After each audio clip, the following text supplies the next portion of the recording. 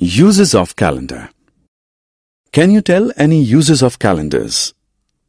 Calendars are used to identify days, to record an event, to manage personal schedules, to identify season changes.